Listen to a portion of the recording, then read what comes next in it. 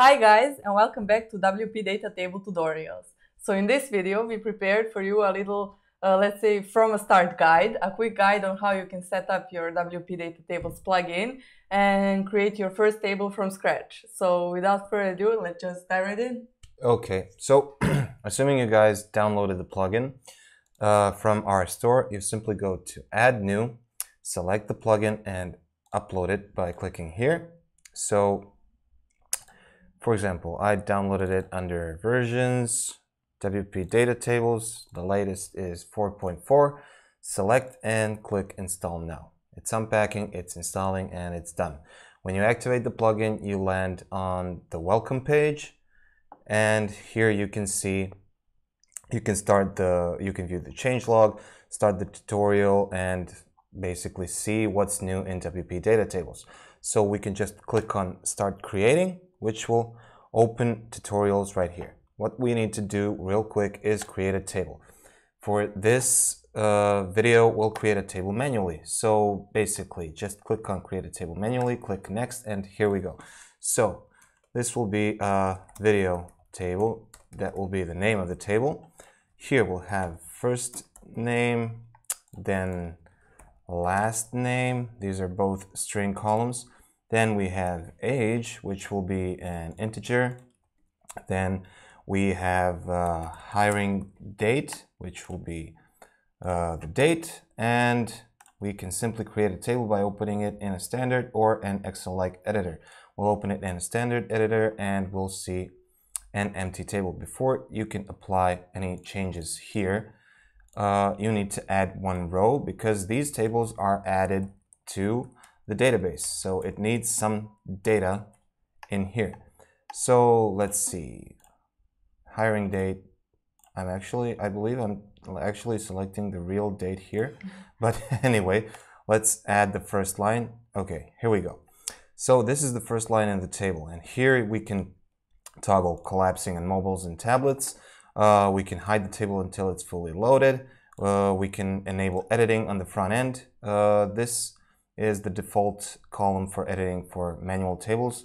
It's hidden because you actually don't need it, but it's representing the row ID. So you can click on the columns and enable the viewing option so you can actually see this.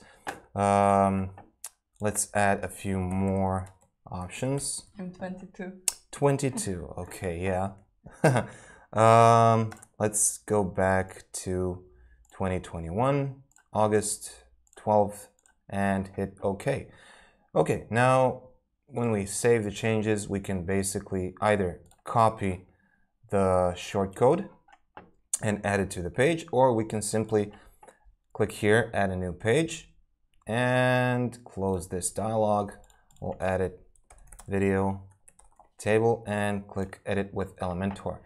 Um, with Elementor, you can actually type in WP data tables here and click on it and drag it here. I don't know why it didn't load the logo, but it should be there.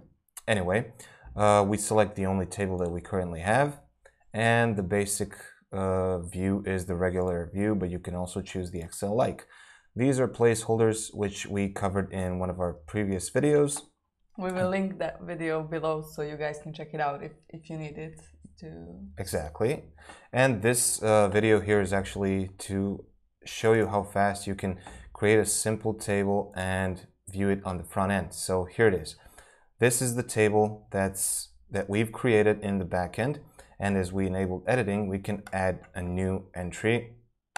For example, let's use John Doe, our most common um, user. user, that's right. And he's been here since, I don't know, 1965 and 8th of July. And okay, yeah, he's um, he's way too young to start to have started working in 65, but you see what I mean. Um, anyway, with the the table options that you can now edit in the backend, since you added a couple of rows, uh, you can modify these. So these are table tools uh, and you can currently see print, Excel, CSV, or copy, uh, which are these right here. You can also enable the PDF option and column visibility. So when we save the changes and refresh the page, we can actually uh, export the table into PDF or choose which column we want to hide or show. Basically, this is a simple, fast rundown of how simple it is to get started with WP data tables. Great, thank you, Alexander. You're welcome. And hopefully you guys found this interesting. Of course, if you need any more tutorials on any other options or different ways how you can create your tables, this is just one of them. We have done previous videos on that on those topics, and of course there is always our documentation which has detailed step-by-step -step explanation how you can create any table and also chart in WP data tables. And if you have any other suggestions, please leave those down below in the comments. And while you're there, don't forget to like, share, and subscribe. Thank you guys for watching. Take care, guys. Bye-bye. Bye. -bye. Bye.